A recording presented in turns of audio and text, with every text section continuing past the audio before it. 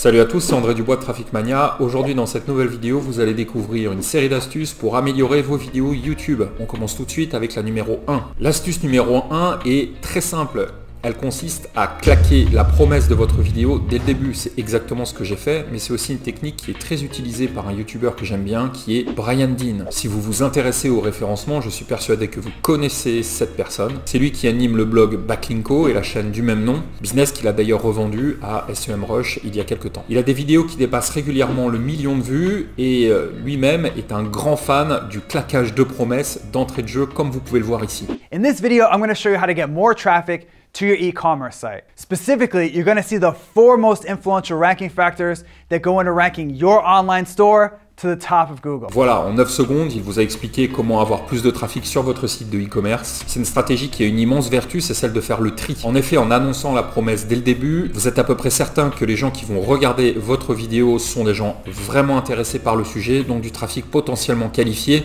du trafic qui a de la valeur pour votre liste d'inscrits et vos futures ventes. Et ça nous amène à l'astuce 2 qui est une astuce complètement opposée mais qui fonctionne aussi parce qu'il n'y a jamais un seul chemin en marketing. C'est une stratégie que Damien Maya a utilisée dans cette vidéo et quand on voit son nombre de vues, on se rend compte qu'elle a eu vraiment du succès. Alors évidemment, elle ne tient pas que à son introduction, mais je trouve que c'est un excellent exemple de ce que vous pouvez faire. On voit que son introduction repose sur trois facteurs, l'attention, le mystère et les mots puissants. La vidéo débute sur une scène du film Matrix avec musique angoissante et coups de tonnerre en fond sonore.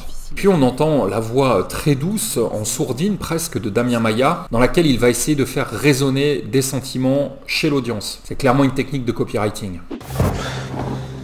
Avez-vous déjà expérimenté un état ou une sensation difficile à décrire? Avez-vous tout de même essayé d'en parler?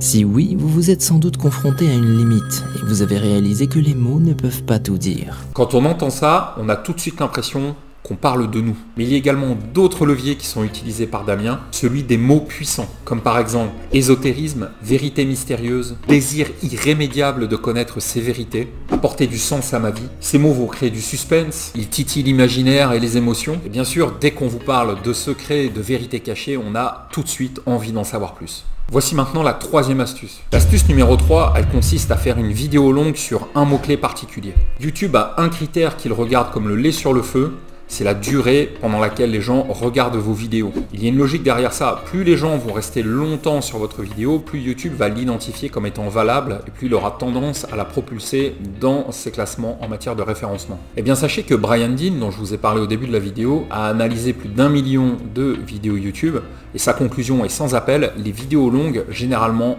fonctionnent beaucoup mieux. Si vous cherchez sur YouTube apprendre à dessiner, vous verrez que vous tomberez plutôt sur des vidéos qui sont longues. Si vous tapez WordPress e-commerce, même chose. Vous aurez là des vidéos qui tournent autour d'une heure de durée. Un autre exemple est une vidéo que j'ai moi-même tournée sur le mot-clé copywriting. Elle dure 43 minutes et elle m'a rapporté un nombre important d'abonnés. Ces vidéos ont de nombreux avantages. Elles vous permettent d'attirer un trafic qui est très qualifié parce que qui va regarder un tutoriel sur WordPress d'une heure si on n'est pas vraiment intéressé par le sujet? Et puis plus elles sont longues, plus elles ont une valeur perçue importante. Donc vous gagnez sur les deux tableaux. Vous allez ramener une audience qui est très pure, qui va être intéressée par le sujet, donc qui va regarder la vidéo pendant une longue durée, ce qui va être excellent pour le référencement de votre vidéo. Le quatrième moyen de doper vos vidéos YouTube, est une méthodologie qu'on voit de plus en plus souvent. Elle consiste tout simplement à faire une étude d'un cas célèbre. Quelqu'un comme Stan Leloup a construit son marketing là-dessus. Et l'idée a été largement reprise. Par exemple, Florent Garcia aujourd'hui fait des vidéos sur la guitare. Au lieu de vous expliquer comment améliorer votre jeu, il va décrypter le jeu d'un guitariste célèbre. C'est une méthode qui est vraiment maligne parce qu'elle vous permet de surfer sur la popularité d'un nom qui est célèbre. Et évidemment, les guitaristes seront beaucoup plus intéressés par une vidéo qui décrypte le jeu de Kurt Cobain ou d'Eric Clapton que par un obscur prof de guitare qui vous apprend à avoir un meilleur toucher ou une vitesse d'exécution plus importante. Donc si vous avez une chaîne YouTube sur le golf,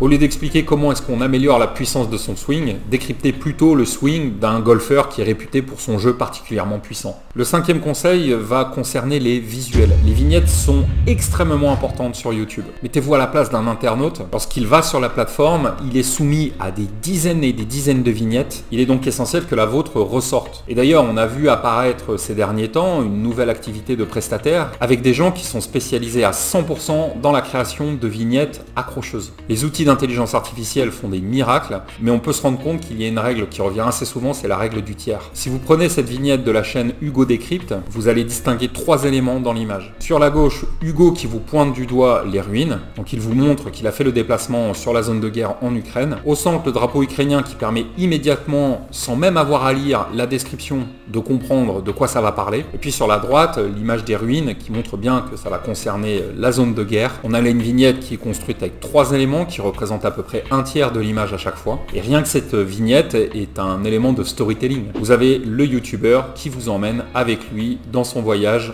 sur la zone de guerre. Tout ceci est résumé dans une image qui est irrésistible et on n'a qu'une envie, c'est de cliquer. Le sixième conseil que je voulais vous donner, c'est d'avoir une cohérence graphique. Alors moi j'ai bien conscience de ne pas être super bon en graphisme et que mes vignettes YouTube ont besoin d'être améliorées. Mais regardez ce que fait Matt Davella, un YouTuber qui est plutôt orienté développement personnel et minimalisme. Sur ces vignettes, il n'y a aucune incrustation de texte. Ce sont juste des images, mais on se rend compte qu'il utilise toujours à peu près les mêmes leviers. Son air un peu dépité, les couleurs beige, grise. On voit aussi qu'il a toujours le même t-shirt, ce qui est important une chaîne orientée minimalisme. Il arrive à amener de l'originalité également en prenant un angle de vue qui est souvent euh, peu commun. Il n'hésite pas à poser son appareil sur le sol et à s'allonger sur le plancher par exemple. Ainsi, lorsque vous voyez ce genre de vignette, vous comprenez instantanément qu'il s'agit de la dernière vidéo de votre youtubeur préféré. Même s'il n'y a pas de texte, vous avez quand même envie d'aller voir de quoi il parle. Le conseil numéro 7, il est assez simple. On se rend compte qu'énormément de youtubeurs investissent dans des caméras de plus en plus compliquées, mais souvent au détriment du son. J'ai remarqué que la qualité de l'image n'est pas le plus important. Alors évidemment, il faut pas avoir quelque chose qui est trop pourri, trop pixelisé. Il y a un truc qui est un vrai repoussoir, c'est le son qui est mal réglé. Et moi, je me suis rendu compte qu'en simplifiant mon setup, j'arrivais à avoir d'excellents résultats. Par exemple, cette vidéo est tournée avec une simple webcam et un logiciel de capture d'écran. La webcam m'a coûté 250 euros, ce qui est bien moins cher que les caméras que j'ai pu m'acheter au fil du temps. Et le micro est un simple micro USB branché sur mon ordinateur, ce qui me permet de lire mon texte en étant à mon bureau. Donc j'ai tourné cette vidéo avec moins de 300 euros de matériel et je pense donc que je vais bientôt remettre énormément de matos sur le bon coin. Le huitième conseil que je voulais vous donner, c'est celui du storytelling. Beaucoup de gens ne comprennent pas l'importance de ce concept, même si on en entend parler partout. Et c'est vrai que c'est pas très évident de comprendre cette euh, importance de raconter des histoires dans l'ensemble de ces publications. Eh bien, il y a un exemple que j'aime beaucoup, c'est celui de la tarte aux pommes. Imaginez, vous avez une chaîne YouTube sur la cuisine. Si vous vous contentez de faire une énième recette de tarte aux pommes, votre vidéo risque de ne pas fonctionner, à moins que vous soyez quelqu'un d'extrêmement connu dans le monde de la cuisine ou que vous la fassiez en collaboration avec un grand chef qui va vous ramener sa popularité et du trafic. En revanche, que vous pourriez faire si vous voulez euh, exister avec votre recette de tarte aux pommes, c'est de raconter comment est-ce que vous avez réussi à déterminer la recette. Peut-être que vous avez passé plusieurs années à essayer différentes sortes de cannelle. Peut-être que vous avez tâtonné longtemps pour parfaitement doser tous les éléments de votre pâte. Peut-être que vous achetez vos pommes d'une certaine variété chez certains producteurs uniquement. Et donc si vous emmenez les gens dans votre vidéo et que vous faites vivre votre recherche de la meilleure recette de tarte aux pommes, là vous faites du storytelling. Là il y a une histoire. Vous êtes plus simplement un professeur qui vous explique comment on fait une tarte aux pommes. Vous êtes quelqu'un qui va partager ses tâtonnements, ses réussites, ses échecs, ses tests, qui va faire goûter sa tarte aux personnes, qui va euh, vous faire vivre le concours de tarte aux pommes, qui va aller à la rencontre du producteur et rajouter une interview, euh, une set séquence dans la vidéo. Alors évidemment, ce sont des vidéos qui vont vous demander un temps de tournage et de montage beaucoup plus important, mais le gain sera là en termes de trafic. L'idée, c'est simplement d'emmener les gens dans votre réalité. Et c'est exactement ce qu'a fait ce youtubeur dans cette vidéo pendant laquelle il raconte sa nuit passée dans les catacombes. On va retrouver tous les ingrédients du bon film d'horreur, les visages crispés, les musiques angoissantes, l'ambiance mystérieuse, l'immersion totale. Et évidemment la vidéo est bien plus intéressante comme cela comparée à un récit de voyage qu'il vous aurait fait le lendemain en vous racontant bah voilà j'ai été dans les catacombes. Ça aurait pas été très intéressant si vous ne voyez pas ce qui s'est passé à ce moment-là en fait. Évidemment pour réussir à créer ce genre de vidéo vous devez maîtriser l'art du A-roll et l'art du B-roll. Donc le A-roll en bon français, c'est la vidéo principale, celle pendant laquelle vous allez faire vos explications, un peu comme celle que je suis en train de faire en ce moment. Et le B-roll, ce sont les images que vous allez rajouter par-dessus votre voix. Ainsi, pour reprendre l'exemple de la tarte aux pommes, quand vous parlez de la sélection des pommes, évidemment vous êtes chez vous en train d'enregistrer la vidéo, mais l'image qu'on va voir à l'écran, qui va se superposer à votre voix, c'est vous par exemple en train de marcher dans un verger. Plus vous montez votre vidéo de cette façon, et plus vous allez obtenir un résultat intéressant. Et une vidéo avec un storytelling très puissant et vraiment attractive. Le point suivant, c'est la méthode du lever de rideau. C'est une stratégie que j'ai utilisée dans cette cette vidéo sur les balayages sur mon ancienne chaîne de judo que j'avais montée quand j'habitais à Lyon. C'est une stratégie qui permet d'augmenter la rétention,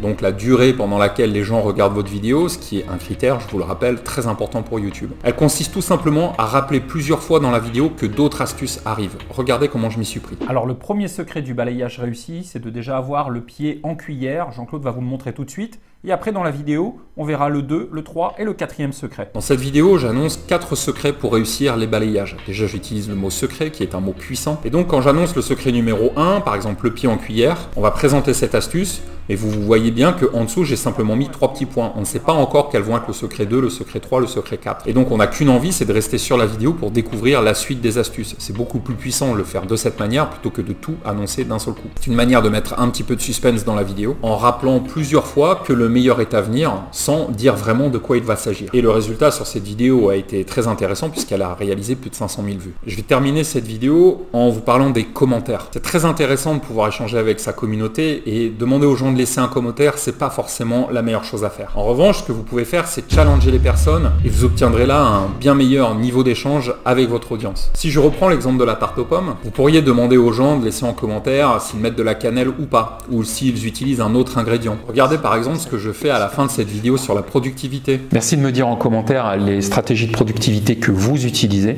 Je serai heureux d'en découvrir d'autres, de les tester et de voir si elles aussi elles s'installent dans ma routine de travail dans la durée. Je demande pas aux gens de me donner leur avis sur ce que j'ai dit, je leur demande de me partager leur principale astuce de productivité que je n'ai pas forcément listé dans ma vidéo. C'est un super moyen d'engager la conversation. D'ailleurs, si vous aussi vous utilisez d'autres trucs et astuces pour améliorer vos vidéos YouTube, n'hésitez pas à me les laisser ici en commentaire. Et puis si la vidéo vous a plu, vous pouvez aussi la liker, la partager. Je voulais vous dire que Traffic Mania c'est une chaîne YouTube mais c'est aussi un blog. Que sur ce blog vous pouvez télécharger un guide gratuit sur la création de titres. C'est super important quand on écrit des emails, quand on veut titrer des vidéos YouTube, quand on veut titrer des articles de blog. J'ai créé un petit guide gratuit très complet sur le sujet. Vous pouvez le télécharger en vous inscrivant à ma newsletter. Le lien est dans la description. En plus de ça, en rejoignant ma newsletter, vous bénéficierez aussi d'astuces marketing exclusives que je ne partage qu'avec mes abonnés. A très bientôt sur YouTube ou sur le blog Traffic Mania. Salut